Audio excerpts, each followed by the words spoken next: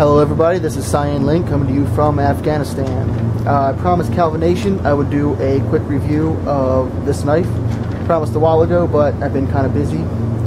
Figured I'd do it real quick because as this is a butterfly knife, we can't take it back home to the States with us.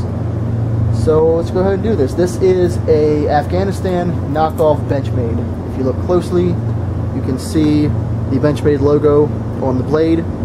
In fact, when I told Calvination about it, he said it might be like an older Benchmade. I kind of wanted to make this video to show him that it's definitely not. I highly doubt Benchmade would make something this crappy even if someone held a gun to their head. The blade is at best 440, probably 420. Of course, I can't don't have any way to get it officially tested. It's not very sharp, but that's a good thing because this is a practice knife and I don't want to slice myself too bad. I got these cuts slamming my hand in the door not from the knife. The shape, I mean, nothing special about it. It doesn't help or hurt flipping in any way, except for these uh, stop wings on the side.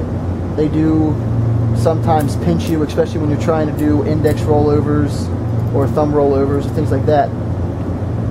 But um, like the biggest problem is that I can't stay together. Unfortunately, I don't have any Loctite handy.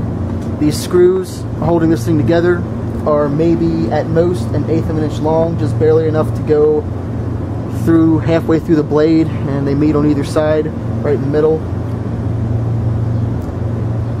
Now, uh, the Gerber we get issued comes with a little hex wrench that fits into these perfectly, so you can tighten them. But I had one of these before, and I forgot to tighten it for a couple days, and sure enough, one of these came flying out, and the whole thing fell to pieces.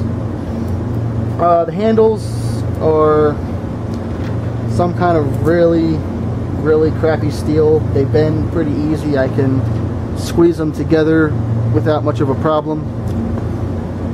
Um, got a pot, little pocket clip, which is a decent idea. It also helps when you're doing uh, aerials. When you grab it, you can feel that pocket clip and know you've got the safe handle in your hand. So that's kind of useful. The latch, probably the worst part held on by a little thing, but um, pretty sure if I tug, give it a little tug, it would break off, which is kind of worrisome. And it does get in the way when you're flipping because it just, you know, flops loose back and forth. All in all, like nothing special to say except that it is definitely not a real Benchmade. It is just an Afghanistan Benchmade knockoff because they don't have copyright laws over here.